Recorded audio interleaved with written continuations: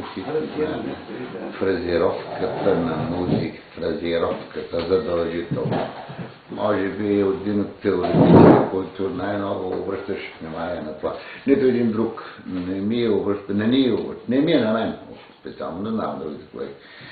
Внимание и по-малки трябва да го знаят. Това е изключително важен компонент. Фрезеровката на музиката. Стига да можеш да го направиш, обаче да чуеш музиката и да, го, и да я фрезираш. И да я фрезираш. Когато се фрезира точно, получава Не фрезата там отзаде, кой е такова?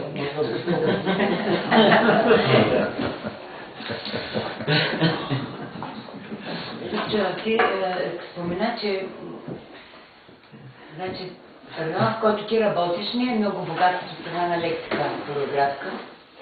Освен това, по-вътре в нещата, стало догоре. Верно, че има много преселници. Да, да, И вероятно всеки, може всяка група се е донесла нещо свое, а, до някъде, нали, го обогатил този фолклор, но ти как си подхождал? В смисъл такъв, а, когато искаш наистина да претвориш един обичай, освен класическия начин да се отиде на теренни проучване, да се вземе, примерно, информация от носители на традиционния фолклор, вероятно се търсил нещо между двете големи дебелите книги. И все пак, за да го кажеш по съвременен начин, така че да бъде интересно за младите хора, как търсиш ти в своята си работа? Може би това е банален въпрос, но все пак е... Е, изобщо не е банален въпрос, защото той ме навежда на този въпрос ме навежда и на един друг въпрос, който е изключително важен за един ръководител. Независимо дали на професионален състав, дали на самодеен ансамбъл на народни песни танци или само на танцов ансамбъл. А, или само на танцов ансамбъл. Когато, когато създаваш, създаваш репертуар. репертуар. Значи, когато създаваш репертуар, правиш, създаваш трябва, аз мисля и за програмата, която м- моя състав трябва след това да изнесе. Спектакъла, който трябва да вържа. Какво ми трябва за този спектакъл? Мъжки танци ми трябва, женски ли ми трябва, оби, част от обичай ли ми трябва, камерен танц ли, масов танц, и ли, колко минути. Така че утре да мога да, да оперирам с, с този ансамбъл. Нали? Ако направя пет обичая в, в, в, в, в, в репертуара си, за какво са ми? За какво са ми? Ако направя пет скучни обичая, за какво са ми тези скучни обичая? А, Аврашев, пак се връщам на него, аз доста често го препрочитам всички записки, му помня, казваше, ами вика, от един доклад на Тодор Живков не може да стане танц. Не може да стане танц. От всеки, според мен, от всеки обичай не може да стане танц. Всяко зависи от менталитета и от темперамента на автора. Аз не искам да правя скучни обичаи. Аз, класическите обичаи, коледуване, лазаруване, ладуване, ели, какво си, те са правени, правени, правени. В случая аз правя танц от обичай, който не е познат. И не искам да е познат. И не го е направил никой след мен, защото е наш. Ама не съм го пренесъл точно така. Не съм търсил нищо под, под защото няма нищо написано за него. И много малка информация. Ти казваш, а, търсиш ли ефекта? Търся го. Защото обичая, като се качи на сцената, колеги, всички, аз поне, си мисля, че и вие а, трябва да работим за публиката. Всеки епизод, всеки номер от музиката или всяка картина от, от танца трябва да го представя на публиката без да е скучно. В същото време аз танца си го представям като едно литературно произведение. Отгръщам тази страница, я прочитам не, и чакам следващата с нетърпение, ако съм в публиката. И чакам следващата с по-голямо нетърпение. Чакам следващата да аплодирам. Ето тези неща ги търси изкуствено, за да дойде до публиката. Без обаче, без обаче да нарушавам основната линия и истинността, но ако е обичай на произведението. Ето вижте, в път за мизия няма, няма, няма, няма обичай, ама има други ефекти. Всеизвестно е тясното и ползотворно сътрудничество между Любчо Василев и Иван Вълев, от което се родиха немалко сценични творби и останаха неподвластни на времето. А ние сега ще видим този исторически танц българка.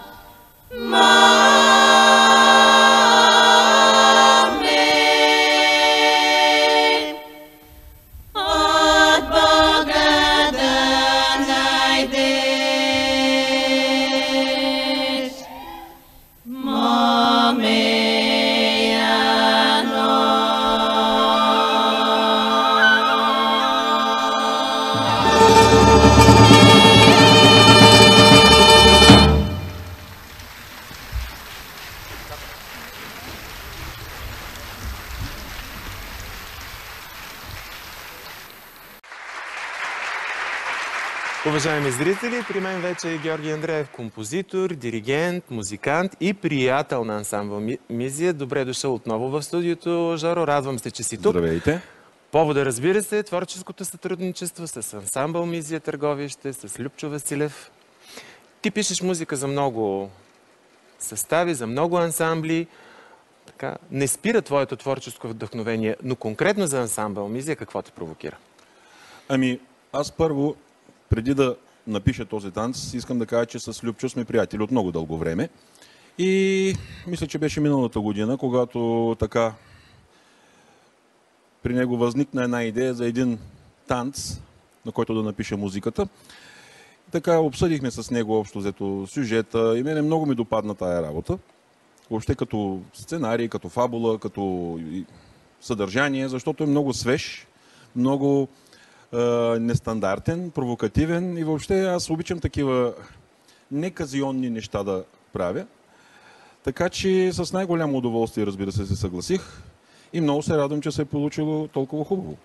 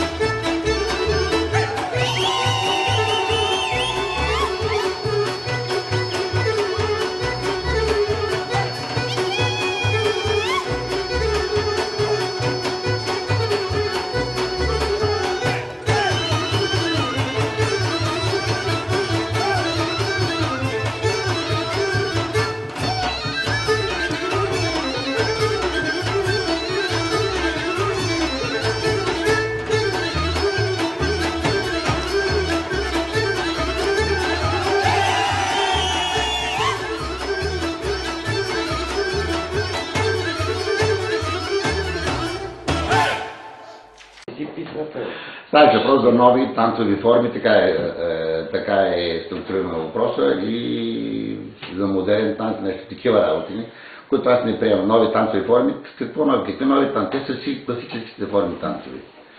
Когато говорим за новаторство в танцовото изкуство, за съвременен български танц или за модерен български танц. Също не го приема модерен. Какво значи модерен на фолклорна основа?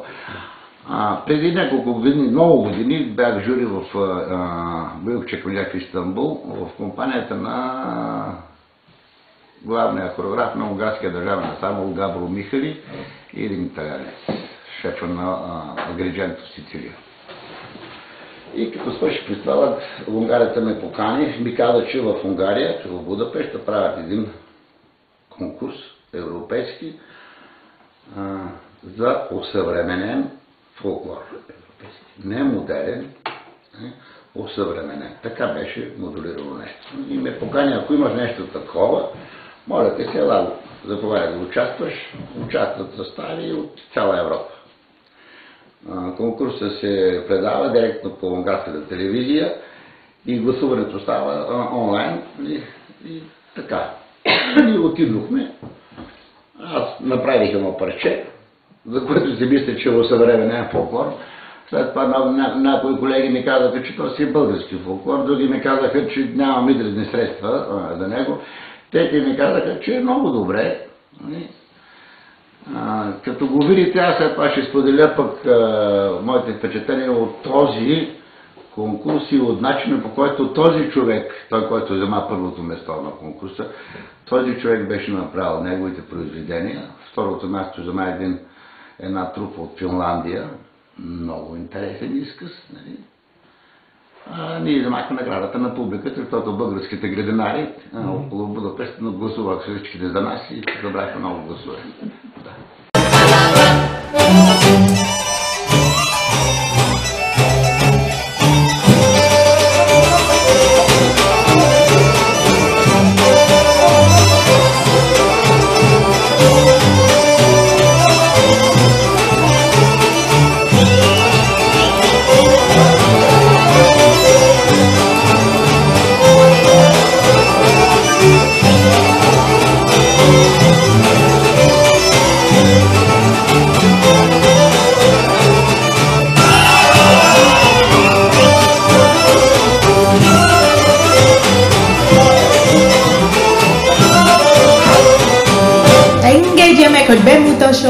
Budapisti Mízia népé együttes Bulgáriából.